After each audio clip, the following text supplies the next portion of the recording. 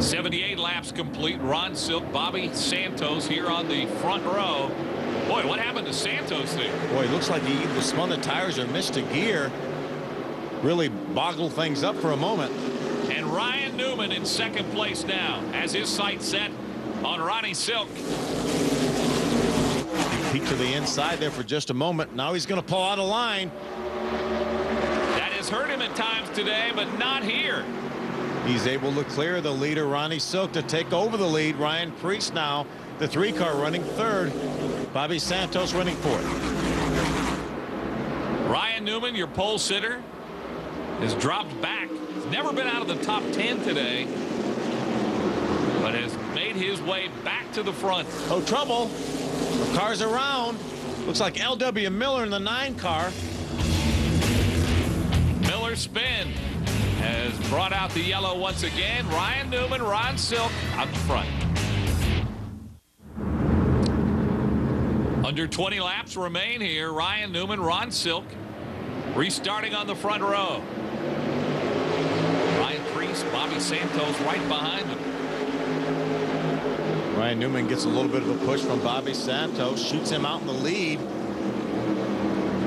Ron Silk able to pull up in between them in the second spot. Bobby Santos now moves to the inside of Ron Silk in that battle for second. Yeah, we haven't heard the last of Bobby Santos today. Up by a long shot. Ryan Newman, though, once he got out in front here, he seems awfully strong. Boy, Ryan Silk went real high, got up in the loose stuff, lost a couple spots. Ryan Preece is able to get by him now for the fourth spot. After leading a number of laps in the early going, we haven't talked a lot about Ted Christopher up front, but watch out. He's running in third. He's certainly lurking right now. Back in the pack now, everybody knows this is go time. Here's where you got to show all your stuff.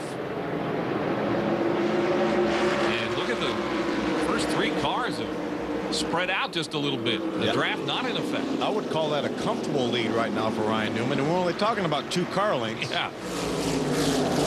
That's what kind of race it's been today, folks. A lot of lead changes. This one's not over, though. These guys are going to bunch back up. See Teddy Christopher now lurking in the third position. Yeah, I still think Ted Christopher could be a factor here before this is over. He's always a factor when they come here to Loudon. Ryan Newman, who, as Bob Dillner told us at the beginning of the broadcast, doing it just for fun today. There's Woody Pitkat right there getting by Doug Coby. Doug was so strong early. Now Eric Goodale in the 58 car is trying to get by Doug.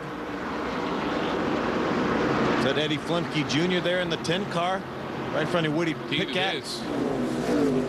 And again, Doug Coby, the amazing story, put the deal together at the last minute. He's been in the top 10 all day. Caught a glimpse for a moment of Justin Bonsignore. Finished second at Martinsville last time out. Great job. Indeed. See if he can move up here in these final laps. Big line of cars behind Eddie Flemke Jr. Ron Bouchard, former cup driver, is the sponsor of that car, and that car actually paint scheme is a tribute to the Race Hill Farm car that Jack Beadle owned that Ron Bouchard won Talladega in. I was at that race. Boy, what a great day that was for Ron Bouchard. Believe that was 1981. I was a teenager back then. I was four. Yeah.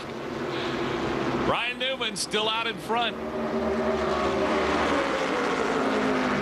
Teddy C now has dropped in behind Ron Silk.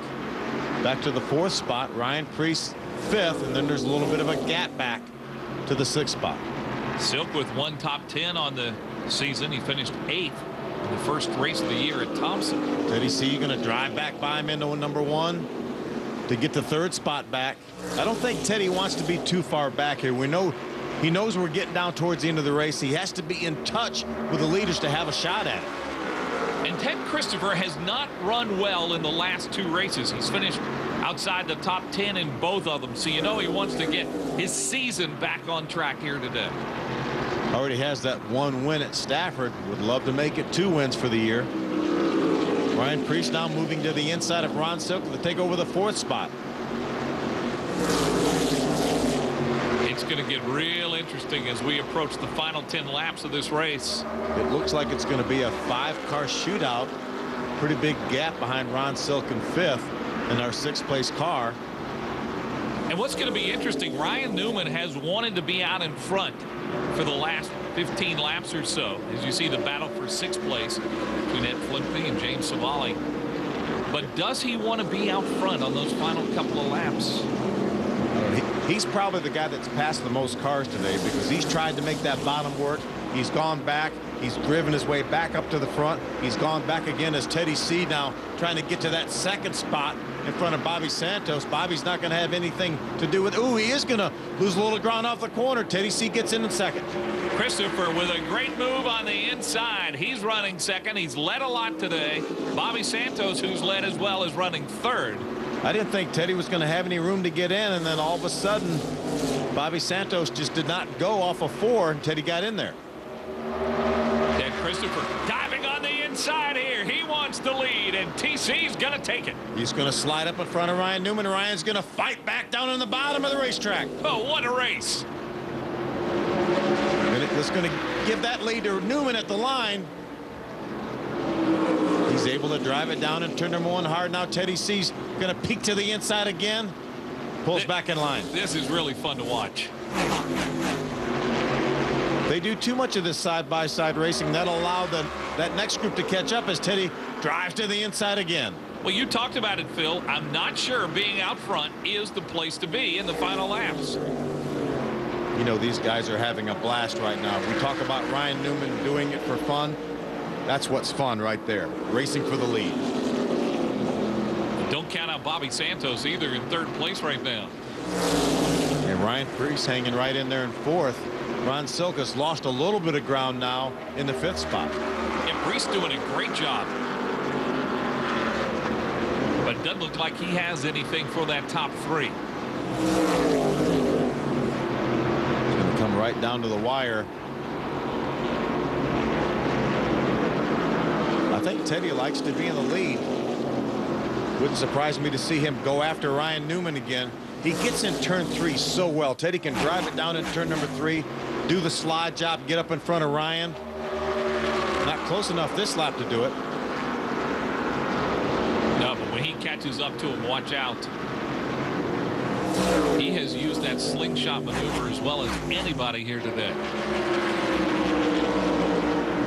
Let's see if he uses this corner to pull up on Ryan Newman's bumper to set him up for that dive bomb down in turn number three. And again, Ryan Newman does not have a lot of experience in these modified cars. But boy, has he adapted to it. A little bit of a bump draft right there. Then he got into the back of Ryan, it looked like. Instead of making the move to the inside, he ran up and gave him a little love tap. Lost three car links in the process. Yeah, Christopher's got a little ground to make up now. And this is what we call a comfortable lead for Ryan Newman. About two and a half laps to go now. Looks like it's going to be a two-man race. Christopher and Ryan Newman. As we said earlier, TC, the all-time winner at New Hampshire Motor Speedway. Two to go. I wonder if Teddy's going to wait for that move down in turn number three for the last lap. Then he doesn't have to battle Ryan all the way down the next straightaway. He only has to do it halfway to get the checker flag. Well, we've seen that slingshot move work so well for him today. Now he takes a peek down low. Christopher going for the lead. He's going to do it early. They're coming down for the white flag and one lap to go. And Christopher has got the lead with one to go. White flag is out. Final lap. Ryan Newman now on the inside. Side by side down in turn number one. Is Ryan going to get him cleared? He does have him cleared. Now Teddy's fighting back on the inside. And it's a great one. Christopher, they are dead even now as Ryan Newman pulls away a bit. But does Christopher have another slingshot move left in him? Not much time. This is the final turn right here. Down the home stretch they come, and Ryan Newman is going to win. Ted Christopher finishes second in a great race, Phil. It sure was. Ryan Preece was able to get that third spot from Bobby Santos, but I was really surprised that Teddy didn't make that move down in turn number three that we saw him do so many times.